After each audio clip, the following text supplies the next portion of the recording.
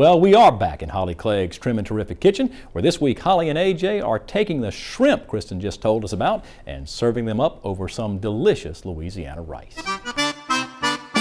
Holly Clegg's Trim and Terrific Kitchen is brought to you by the Louisiana Crawfish Promotion and Research Board, Louisiana Crawfish, ask before you eat, and by the Louisiana Rice Promotion Board, Rice, a world of great ideas, and by the Louisiana Beef Industry Council, Beef, it's what's for dinner.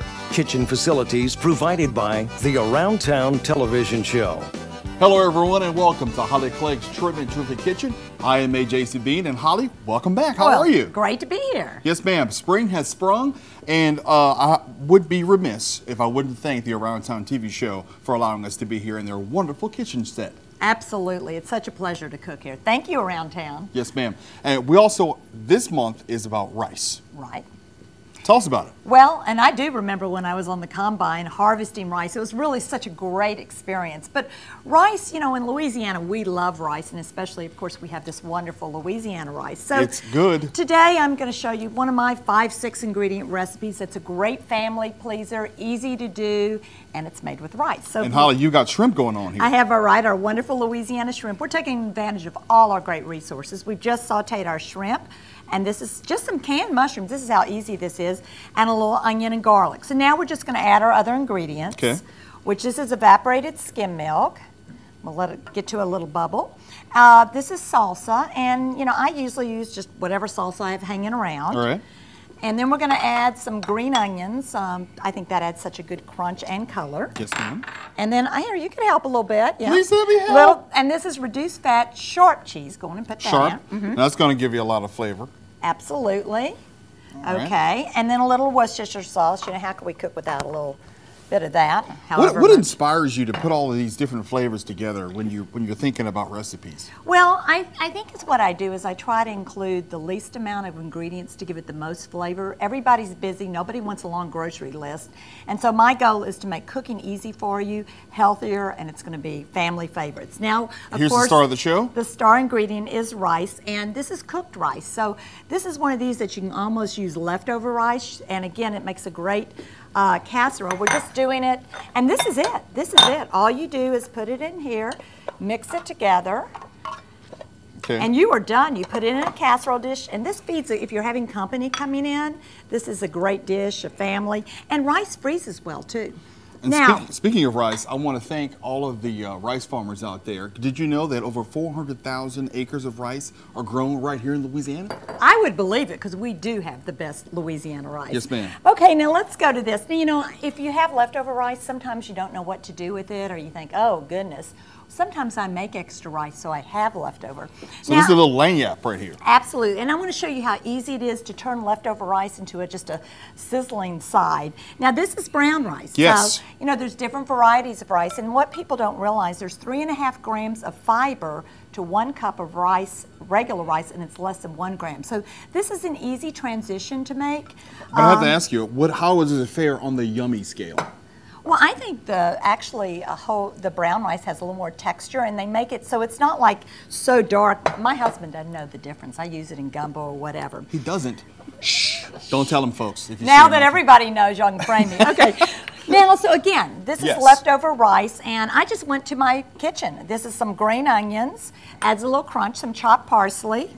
Parsley, all right. And if you have, this happens to be fresh, but you could use uh, dried, and, and this is pine nuts. Now this is an interesting ingredient. Tell folks about well, this. Well, pine nuts, I just wanted a little added crunch. You could use toasted pecans, toasted almonds, and I toasted pine nuts, were, which are really sort of Mediterranean. It's a pignoli nut, mm -hmm. but we're going to mix this in. Okay, now we have to have just a little extra flavor. Got a little straggler there. And this is the Nakano seasoned rice vinegars, and they have different flavors. It's a great way to splash on that boost of flavor without any extra fat.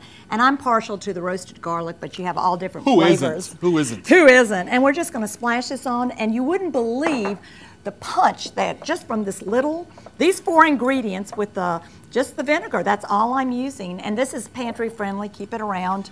Now, could this uh, be an entree or an appetizer, or? Well, it could. You could. You, I use it as a side with fish or chicken or whatever you're cooking. But you know, a lot of vegetarians. It could be a meatless meal because mm -hmm. it has a lot of good ingredients.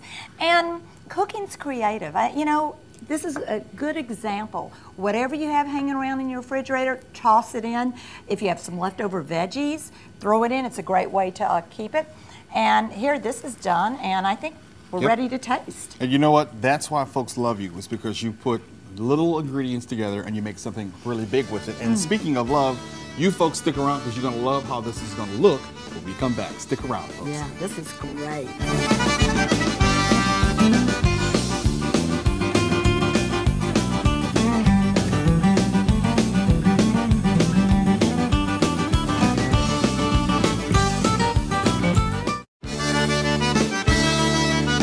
Folks, we're back. Thank you so much for sticking around. Holly, show folks this beautiful recipe that you've prepared today. Here it is, and like I said, it's a crowd pleaser, family pleaser, about six ingredients, easy to do. And here's how we jazzed up just some leftover rice. Uh, rice is our star ingredient. It's very versatile. You could do it from a main dish to a side, and of course, we all love it in gumbos. And All right, Holly, you're keeping me from this recipe. How do I? I want to dig this in is here. the tasting. I always say the proof is in the tasting. And again, these are all trim and terrific. All my recipes have your nutritional information and your diabetic exchanges. And uh, of course, my Gulf Coast favorites has all your Louisiana favorites. Drum roll and let's taste. I'm going to tell y'all, folks, I have the best job in the world. I'm standing next to a beautiful woman with a plate of food in my hand. Think Sounds this couldn't good to get better. me. Folks, I want to ask you, Holly, where can folks find this, these recipes? Uh, you could find these recipes uh, on my website, which is hollyclegg.com, Mm. or I have a blog as well. It'll lead you for there. And then I know on our twila.org, we Mm-hmm. put the recipes and the uh, video as well. So I'm all over the place. The main thing is I want you to cook and try them. This is so sweet. You can feel the, the taste. Is, I mean, you can feel the the velvety texture of the cheese. Mm-hmm. It's wonderful, wonderful. And our Louisiana rice, we're so fortunate to have it here Mm-hmm. and use it. Use it and abuse it. Folks, if you'd like this recipe or you'd like to find out what Holly and I are doing, you can always log on to our website at twilatv.org. And Holly, you also have a blog, right? Right. It's thehealthycookingblog.com. So Mm. enjoy, enjoy, enjoy. Holly Clegg's Trim and Terrific Kitchen was brought to you by the Louisiana Crawfish Promotion and Research Board, Louisiana Crawfish, Ask Before You Eat, and by the Louisiana Rice Promotion Board, Rice, a world of great ideas, and by the Louisiana Beef Industry Council. Beef, it's what's for dinner. Kitchen facilities provided by the Around Town Television Show.